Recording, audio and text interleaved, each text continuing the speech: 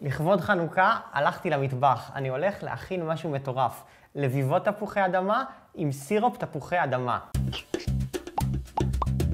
אני הולך להפוך את כל התפוחים שבקערה הזאתי, בעזרת המדע, לסירופ סוכר מתוק.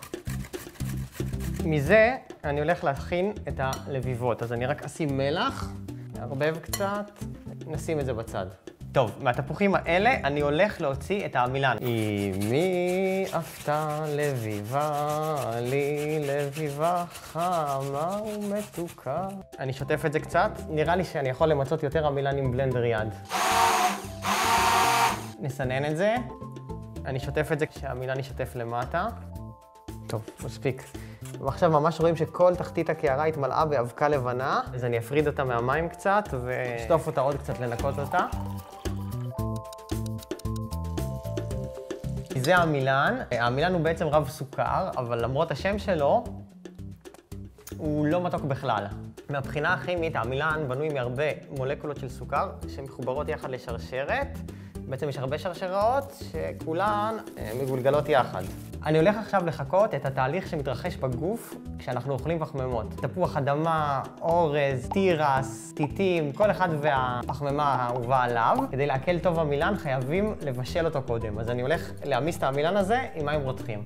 יצרתי כאן מין דייסה סמיכה כזאת כמו סחלב. למה בעצם זה הסמיך? כי החום...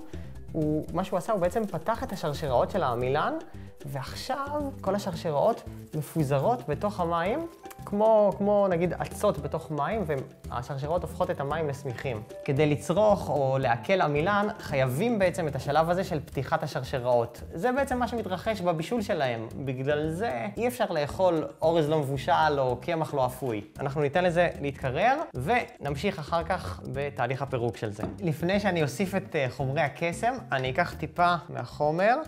ואני אשים בקערה נפרדת כדי שנוכל לראות את ההבדלים, מה שנקרא במדע קבוצת ביקורת. חומר הקסם הראשון נקרא המילז, נמצא ברוק שלנו, הוא מה שנקרא אנזים. לא עברו שתי דקות ותראו איך זה נהיה, ממש ממש דליל כמו מים, תשוו את זה לקערה הזאת בלי האנזים. המילה הזו בעצם כמו סוג של מספריים שבעצם גוזרות או מפרקות את השרשראות הארוכות של העמילן לשרשראות קצרות יותר. אז עכשיו בואו נטעם את זה. אה, בין לא מתוק בכלל לבין מתיקות קלושה. אם האמת היא שאני אתן לזה לעבוד כמה שעות, בסוף, בסוף, בסוף, בסוף זה יגיע למצב הזה, שזה זוגות של מולקולות סוכר מחוברות יחד, והסוכר הזה נקרא מלטוז, הוא דו-סוכר. אה, מלטוז זה מהמילה מלט, מלט זה לטת, אה, שעורה כלויה, ויש לזה טעם של מתיקות מעודנת, כמו של אה, בירה שחורה, והאמת היא שאני לא רוצה מתיקות מעודנת, אני רוצה משהו מתוק, מתוק, מתוק, כמו דבש. בשביל לעשות את הקיצוץ הנוסף, אני הולך להוסיף אנזים בעל השם הקליט אמילוגלוקוזידז, זה אנזים שנמצא נמצא במעיים שלנו, ואני קניתי אותו, הוא עלה לי 400 שקל לגרם, אבל בשביל המדע משקיעים. האנזים הזה פועל בסביבה טיפה חומצית, אז אה, לפני שאני אוסיף אותו, אני אוסיף טיפ-טיפה לימון לתוך התערובת. נוסיף את האנזים. מה שהאנזים השני עושה, הוא בעצם גוזר לנו שרשראות עד רמה של סוכר בודד, שנקרא גלוקוז או גלוקוזה, סוכר ענבים, שהוא ממש מתוק, כמו, כמו ענבים מתוקים. אז עברו להן שלוש שעות שזה שכב לו, תראו איך זה נהיה ממש מים צלולים, תשוו את זה לזה שלא שמנו כאן אנזימים בכלל, ואני איתם. Mm, מתוק, מתוק, והאמת היא גם קצת חמוץ, כי שמתי בזה לימון. עכשיו אני הולך לרכז את זה, להפוך את זה לסירופ מרוכז, אבל לפני שאני ארכז את זה, אני רוצה להוסיף טיפה של אבקת סודה לשתייה כדי לנטרל את החומציות, שלא יהיה לי סירופ חמוץ. עכשיו אני הולך לשפוך את זה לסיר, אני הולך לשים את זה על הגז, כדקה שזה ירתח. מה שהולך לקרות כאן זה שהמים ירתחו, יתאדו, ובתחתית של הסיר יישאר לי שכבה של סירופ סוכר מתוק. הסירופ סיים להצטמצם לי, אני אמזוג אותו לקערה. אז זה הסירופ שלנו. חייב להודות, uh, מתוק, אבל לא הכי טעים. טעם לוואי של תפוח אדמה, אבל uh, אני עכשיו הולך להכין את הלביבות.